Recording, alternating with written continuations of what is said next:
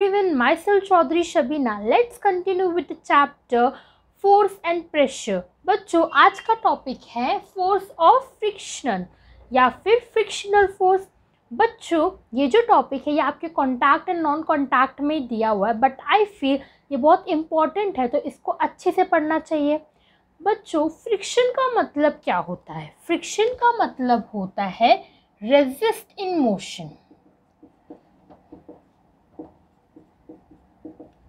ये जो force of friction है, इसका मतलब है ऐसा फोर्स जो रेजिस्ट करता है मोशन को। अब एक एग्जांपल ले लेते हैं तो शायद आपको समझ में आ जाए।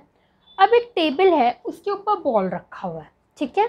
अब इस बॉल को मैं फोर्स मतलब थोड़ा सा फोर्स दे रही हूँ, ठीक है? जैसे ही मैंने इस बॉल को फोर्स दिया, ये बॉल थोड़ा मोशन में आ जाएगा। अब समझो ये बॉल का यहाँ आके रुक गया। अब ये यहाँ आके क्यों रुक गया मैंने तो इसको फोर्स दिया, इसको तो मोशन ही करते रह जाना चाहिए।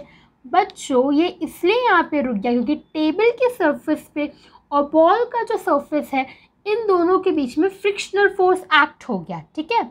इसलिए ये बॉल रुक गया। एक और एग्ज़ाम्पल देखते हैं। समझो, एक प्लेन रोड है। उस प्लेन रोड पे बस या कार मूव कर रही है, ठीक है?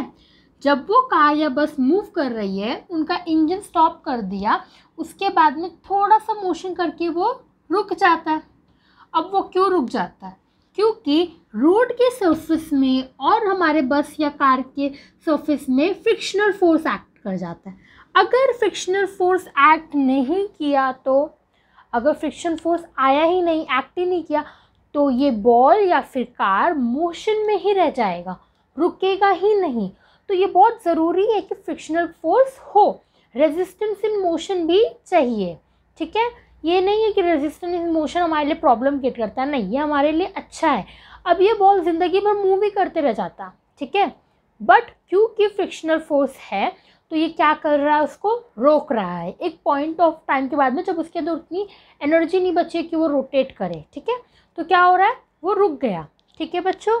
अब कुछ पॉइंट्स हम देख लेते हैं जो आपके टेक्स्ट बुक में दिया हुआ है। पहला पॉइंट है frictional force always resist motion frictional force को मैंने आपको बता ही दिया कि वो क्या करता है रेजिस्ट करता है मोशन को।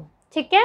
Next point is in absence of frictional force object will remain in motion हमेशा के लिए मोशन में रह जाएगा ऑब्जेक्ट अगर फ्रिक्शनल फोर्स नहीं होगा तो तो आप सोच सकते हो ना कितना प्रॉब्लमेटिक हो जाएगा हमारे लिए। तो बच्चों फ्रिक्शनल फोर्स हमारे डे टू डे लाइफ में बहुत इंपॉर्टेंट है। Frictional force acts between surface and object in motion अब फ्रिक्शनल फोर्स एक्ट कैसे करता है? जो हमारा सरफेस होता है और जो हमारा ऑब्जेक्ट होता है, इन दोनों के बीच में ऐड करके फ्रिक्शनल फोर्स पैदा कर देता है।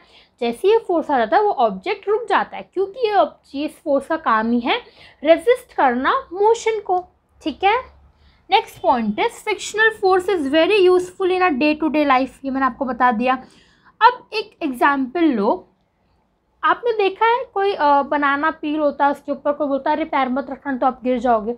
या फिर कभी आपने एक्सपीरियंस किया होगा, उसके ऊपर आपने पैर रख दिया होगा और आप स्लिप करके गिर जाते हो। क्यों बच्चों? ऐसा क्यों होता है? ऐसा इसलिए होता है क्योंकि उस मूवमेंट पे फ्रिक्शनल फोर्स कम हो जाता है। इसलिए हम स्लिप कर जाते हैं।